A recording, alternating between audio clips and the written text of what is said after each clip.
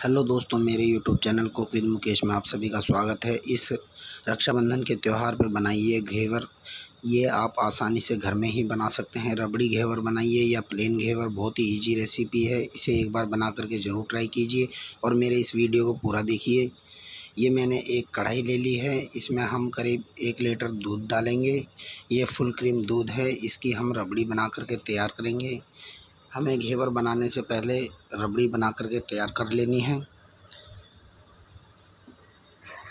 दूध में अच्छे से उबाल आ चुका है। अब हम इसे एक पलटे की सहायता से हम इसे चलाते हुए पकाएँगे। जब तक पकाना है, जब तक ये एकदम गाढ़ा ना हो जाए।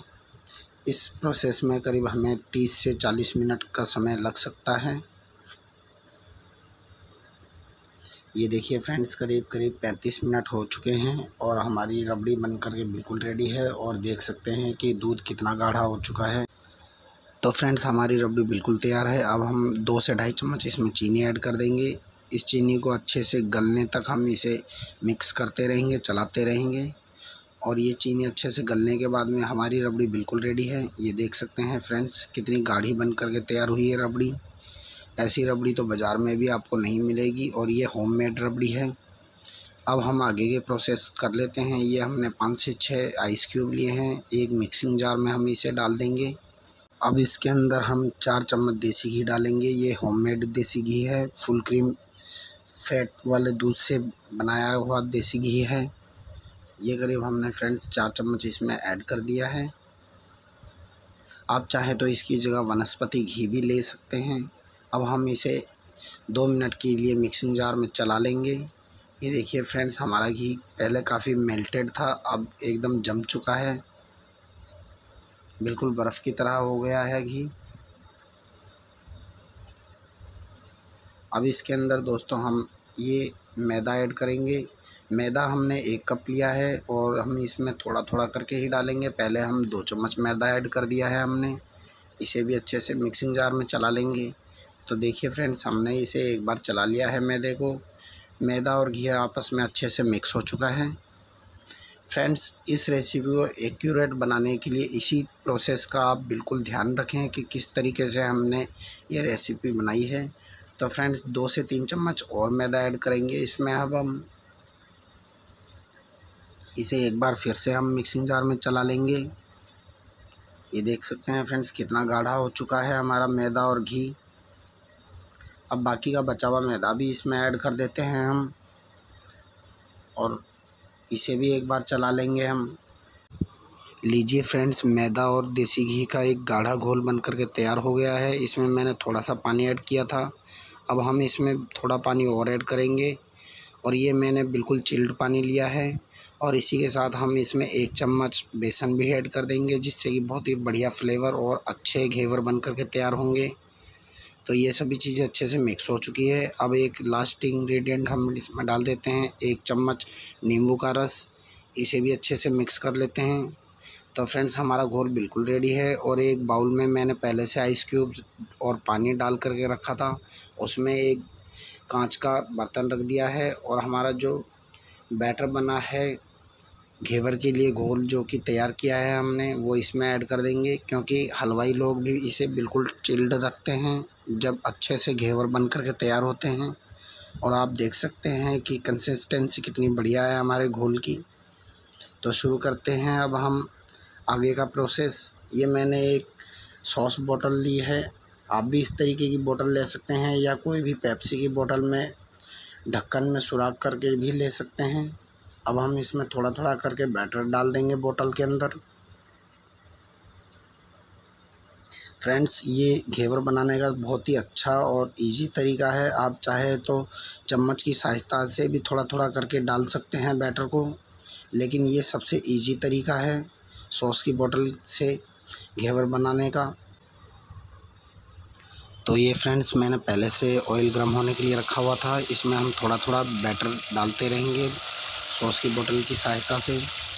जैसा कि आप देख सकते हैं कि बहुत ही बढ़िया एकदम अच्छे से गर्म हो चुका है ऑयल तो इसमें हमें थोड़ा थोड़ा करके ही बैटर डालना है जिससे कि हमारे घेवर अच्छे से जालीदार बने। एक बार झाग आने के बाद में फिर झाग बैठ जाए, दोबारा से हमें बैटर डालना है।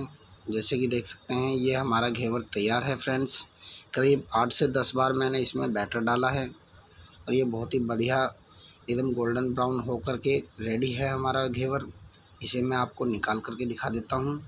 पहले हमने इसकी साइडें हटा ली है चाकू की सहायता से। ये लीजिए फ्रेंड्स, ये देखिए कितना बढ़िया से घेवर बना है। आप भी इस तरीके से घेवर बना सकते हैं। दोस्तों, ये मेरे पास बर्तन थोड़ा ज़्यादा बड़ा है। अब मैंने ये छोटा बर्तन ले लिया है। देख सकते हैं, इसमें मैंने पहले से थोड़ा सा बैटर डाल दिया था। और इस छोटे बर्तन में क्या है कि छोटे छोटे घेवर बहुत ही अच्छे लगते हैं। ज़्यादा बड़ा घेवर अच्छा नहीं लगता देखने में भी। लेकिन छोटे बर्तन में आप घेवर बनाएँगे तो बहुत ही इजी तरीके से और जल्दी बन जाएँगे। अगर आपके पास छोटा बर्तन ना हो तो आप बड़े बर्तन में भी बना सकते हैं।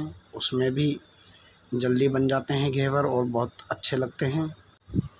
ये लीजिए दोस्तों, ये हमारा छोटे पतीले के अंदर घेवर बन करके रेडी है। ये मैंने निकाल लिया है इसे। आप देख सकते हैं कितना बढ़िया लग रहा है देखने में ये घेवर। अब हम इसे साइड कर देंगे और ये मैंने एक पैन ले लिया है। इसमें हमने एक कप चीनी डाल दी है। अब हम इसकी चाशनी बनाएँगे। ये मैंने इसी के साथ में आधा कप करीब पानी लिया है। हमें जितनी चीनी लेनी है उसका आधा ही पानी लेना है और इसे हम चलाते हुए चीनी घुलने तक चलाते रहेंगे और मीडियम फ्लेम पर ही हमें चाशनी बना करके तैयार करनी है। देख सकते हैं दोस्तों, ये हमारी चाशनी में उबाल आ चुका है, इसे हम लगातार चलाते हुए पकाएँगे और हमें दोस्तों एक तार की चाशनी बनानी है। फ्रेंड्स, अगर आपको मेरा ये वीडियो अच्छा लगे तो मेरे चैनल को सब्सक्राइब कीजिए, लाइक और शेयर ज़रूर कीजिए इस वीडियो को। और मेरे आने वाली वीडियो के लिए आप बेल आइकन को ज़रूर प्रेस कीजिए। तो ये लीजिए दोस्तों, सभी घेवर बना करके तैयार कर लिए हैं। ये सभी घेवर बनाने में हमें दोस्तों एक कप मैदे का इस्तेमाल किया है और ये देख सकते हैं मैंने एक प्लेट में एक स्टैंड रखा है। आप भी इस तरीके का स्टैंड इस्तेमाल कर सकते हैं या कोई जाली भी ले सकते हैं। अब मैंने इस पर एक घेवर रख दिया है। इस पर हम थोड़ा थोड़ा कर करके चाशनी डालेंगे। ये देखिए दोस्तों, इस तरीके से डालने से क्या होता है कि जो चाशनी एक्स्ट्रा होती है वो सारी नीचे प्लेट में आ जाती है। आप भी इसी तरीके से डालें डायरेक्ट प्लेट पर रख कर के घेवर को चाशनी ना डालें, जिससे उससे घेवर जल्दी सॉफ्ट हो जाएगा। और ये जो हमने रबड़ी बनाई थी, ये रबड़ी हम इस घेवर पे लगा कर के दिखा देते हैं आपको। बहुत ही बढ़िया घेवर बन कर के तैयार हुए हैं और बहुत ही इजी रेसिपी है। आप एक बार बना करके ज़रूर ट्राई कीजिए। और अगर आप मेरे चैनल पर नए हैं दोस्तों, मेरे चैनल को सब्सक्राइब करना ना भूलें। इसी तरीके की रेसिपीज़ मैं आपके लिए लाता रहता हूँ। ये मैंने पूरे घेवर पर रबड़ी लगा ली है दोस्तों। अब हम इसे पिस्ता से गार्निश करेंगे। ये देखिए मैंने कुछ कटे हुए पिस्ता ले लिए हैं, जिससे हमने इस घेवर को गार्निश कर दिया है। लीजिए दोस्तों, हमारे घेवर की रेसिपी बिल्कुल रेडी है। आप भी इस रक्षाबंधन, इस रेसिपी को ज़रूर ट्राई कीजिए और घर में ही घेवर की रेसिपी बना करके सभी को खिलाइए। बहुत ही इजी बन करके तैयार हुए हैं। और ये फ्रेंड्स मैंने दो से तीन घेवर इकट्ठे ले लिए हैं। अब हम इस पर चाशनी डालेंगे। जैसे कि बाज़ार में प्लेन चाशनी वाले घेवर मिलते हैं, जिस पर कोई ड्राई फ्रूट्स या मलाई रबड़ी नहीं लगी हुई होती है। ये देखिए थोड़ा थोड़ा करके हम इस पर चाशनी डालेंगे, जिससे कि ऊपर से नीचे तक सभी घेवरों में चाशनी लग जाएगी। और आप अपने अनुसार कम या ज़्यादा मीठा रख सकते हैं। ये मैं थोड़ा थोड़ा ही डाल रहा हूँ इसमें चाशनी, क्योंकि हमें कम मीठा ही पसंद है।